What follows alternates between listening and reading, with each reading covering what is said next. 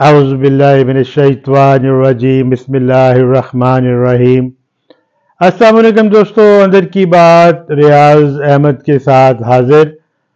دوستو، آج ہم اکانومی پہ بات کریں گے اور خاص طور پہ پاکستان کی جو highest revenue earning export item textile ہے، اس کے بارے میں ہم تھوڑا سا جائزہ لیں گے اس مختصر کلپ میں۔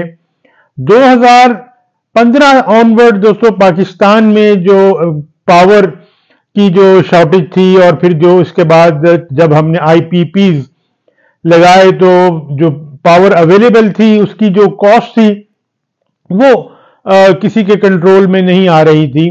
اور پھر آپ جیسا کہ جانتے ہیں پریزیڈنٹ پرویز مشرف کے دور میں کنزیومر فائنینسنگ جو ہے، وہ بڑی پیک پہ گئی۔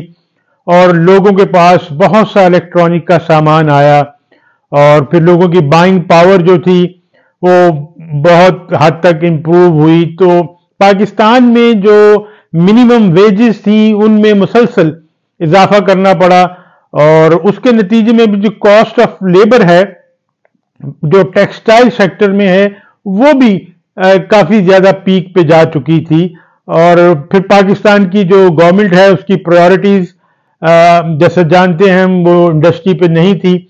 ہمارے جو انفارچونیٹلی جو اکنامک مینیجرز ہیں، ان کا زیادہ تر انحصار آئی ایم ایف کے لون پہ رہا اور پھر جو نان پروڈکٹیو ایکسپینڈیچرز ہوتے ہیں، جس میں سول ورکس کہہ لیں، جیسے میٹرو ٹرین دیکھ لیں آپ، اتنا ہیوی برڈن اس نے اکانومی پہ ڈالا کہ تقریباً پنجاب کو کرپل کر کے رکھ دیا۔ ان تمام چیزوں کو دیکھتے ہوئے ہماری جو ایکسپورٹس تھی ٹیکسٹائل میں وہ کمپیٹ نہیں کر پا رہی تھی انٹرنیشنل مارکیٹ سے۔ تو پھر گریجولی ہمارے جو لیڈنگ جو ٹیکسٹائل ہاؤسز ہیں، انہوں نے پوسٹ ٹوینٹی ففٹین مائگریٹ کرنا شروع کیا اپنی انڈسٹری کو Bangladesh.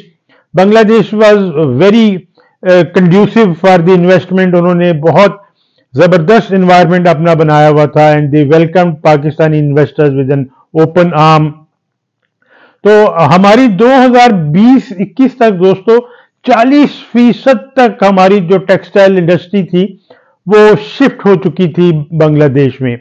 اب بلو عالم لوگ اس سے، اس کو چالیس سے بھی اوپر کہہ رہے ہیں، لیکن چالیس کا فگر تو بالکل، یہ ایک انٹرنیشنل اسٹڈی ہے۔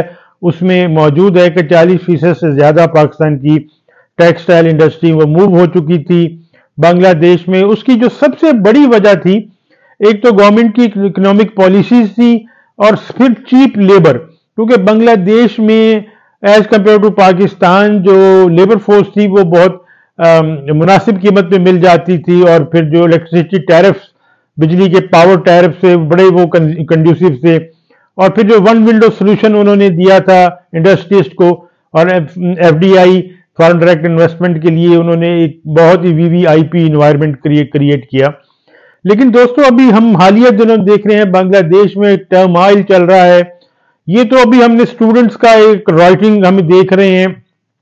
اس سے پہلے جو بنگلہ دیش میں بھی وہی ایکچولی ہوا جو پاکستان میں پوسٹ مشرف ایرا میں ہوا تھا کہ کنزیومر بینکنگ عروج پہ تھی اور جیسے اب ہم جانتے ہیں کہ خوشحالی آتی ہے تو لوگوں کی بائنگ پاور بڑھتی ہے اور لوگوں کو پھر اپنی جو ارننگ ہے وہ اس کو بھی انکریز کرنا پڑتا ہے۔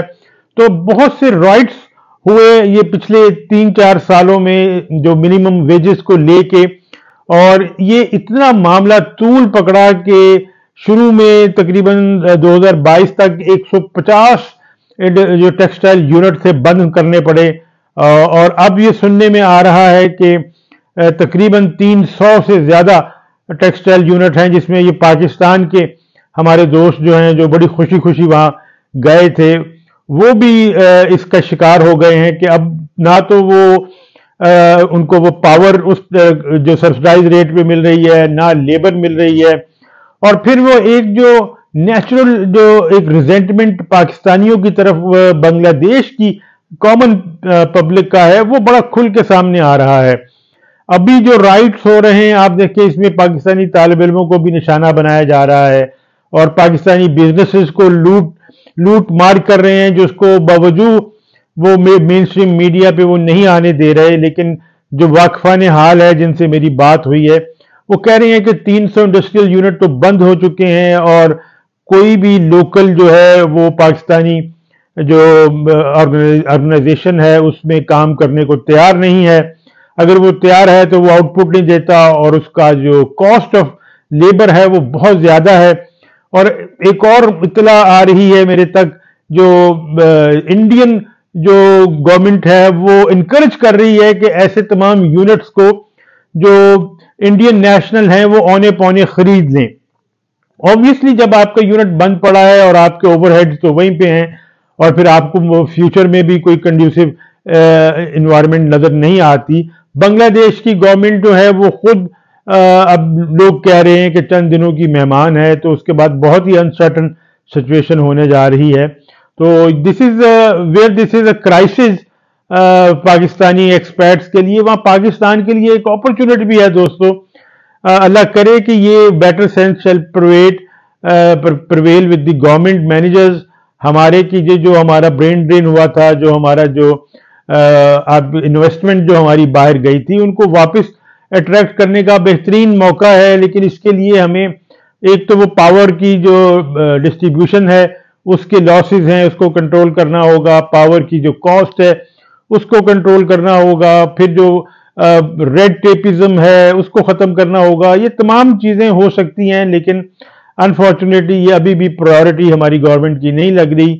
تو ایک بہت بڑا disaster disaster in making for the Pakistani investors Bangladesh جو ہے، وہ ایک دلدل بننے جا رہا ہے۔ تو ابھی سے پاکستان کو سفارتی سطح پہ بھی اس کی، اس کو آواز اٹھانی چاہیے۔ اور جو ہماری ٹریڈ باڈیز ہیں they should also play a role جو ہمارا چیمبر آف کامرس ہے اے پی سی سی آئی ہے۔ جو ہماری دوسری باڈیز ہیں ایپٹما ہے۔ تو لیکن میں میں دیکھتا ہوں کہ بالکل خاموشی چھائی ہوئی ہے۔ بالکل شتر مر کی طرح ریت میں سر دیا ہوا ہے کہ یہ ٹرمل ول پاس تو پھر وہ چیزیں گڑی گڑی ہو جائیں گی۔ ایسا نہیں ہے۔ ابھی تو بنگلہ دیش کی جو حکومت ہے، اس کا مستقبل اسٹیک ہے۔ تو ابھی سے اگر تین سو یونٹس بند ہو چکے ہیں، تو آپ اندازہ کر سکتے ہیں کہ دی مومنٹ یہ حکومت بنگلہ دیش کی گرتی ہے تو پاکستانیوں کا تو تمام کا تمام سرمایہ جو ہے وہ ڈوبنے جا رہا ہے۔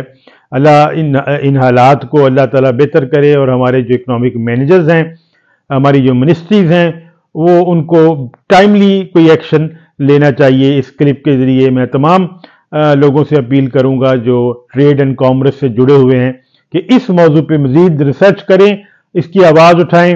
آپ بھی میرے ساتھ مل کے اس ویلاگ کو لائک کریں، شیئر کریں تاکہ یہ آواز لوگوں تک پہنچے اور اس مسئلے کو سنجیدگی سے ٹیکل کیا جا سکے۔ آپ کی توجہ کا بہت شکریہ۔ آپ سے ملاقات ہوگی اگلے پروگرام میں۔ انٹل نیکسٹ ٹائم السلام علیکم ورحمۃ اللہ وبرکاتہ۔